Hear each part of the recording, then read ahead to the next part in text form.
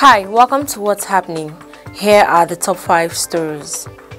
At number 5, about 15 persons who were abducted alongside 156 pupils from the Salihu Tanko Islamia School in Tegina, Niger State, escaped from the kidnappers' den in Zamfara State on Sunday.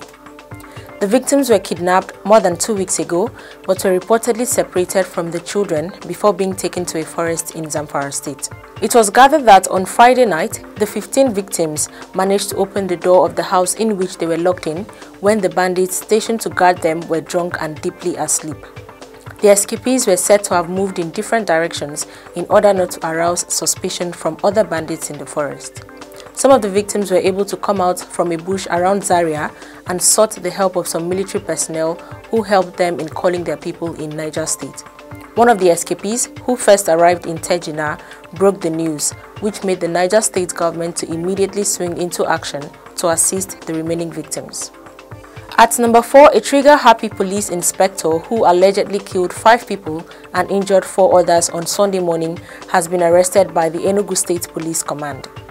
It was gathered that the police inspector attached to Special Protection Unit Base 9 Umuahia, Abia State, started shooting residents at a Lotto office on Sunday morning. According to a statement by the police command's PRO, Daniel Ndukwe, five young men were gunned down while four others were left critically injured. The Enugu State Commissioner of Police, Mohammed Aliyu, has ordered a thorough investigation into the incident. Meanwhile, the governor of Enugu State, Ifeanyi Ugwuanyi, has visited the victims at the ESU Teaching Hospital, where they are receiving treatment. At number 3, a Nigerian returning from Pakistan, Ezenyeche Kingsley Ebuka, has been arrested by operatives of the National Drug Law Enforcement Agency at the Murtala Mohammed International Airport in Lagos State, with five pallets of heroin weighing 250 grams discovered in his anus. This was disclosed in a statement released on Sunday by the NDLEA Director of Media and Advocacy, Femi Babafemi. According to the statement, the suspect had arrived at the D-arrival hall of the airport on June 14th on Turkish airline flight from Pakistan with the illicit drug inserted in his anus. He however failed to beat the eagle eyes of the narcotic officers during inward clearance of the passengers on the flight. In the same vein, a serving officer of a law enforcement agency, Popola Abayomi, was arrested by the NDLEA on June 15 for selling assorted illicit drugs to students of a federal university and cultists in Ogun State. At number 2, the Lagos State Emergency Management Agency has said no life was lost in the fire outbreak which occurred at a three-story building in Marina, Lagos State on Sunday. The spokesman of LASEMA, Nosa Okunbor, said the agency and other stakeholders extinguished the fire that gutted the three-story Elephant House building at Marina.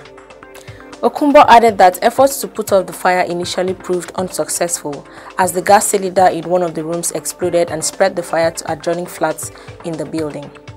But eventually, the raging fire was extinguished with the combined efforts of the community, LASEMA, Lagos State Fire Service, and the Federal Fire Service.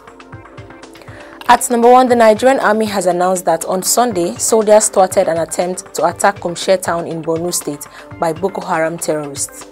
The spokesperson of the army, Brigadier General Onyema Nwachukwu, announced this in a statement. He said the intervention of gallant troops forced the terrorists who came on gun trucks and motorcycles to flee without accomplishing their mission.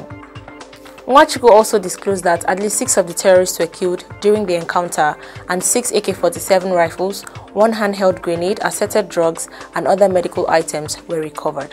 Always remember to wear your mask, wash your hands, and stay safe. That's all for now. See you next time on What's Happening.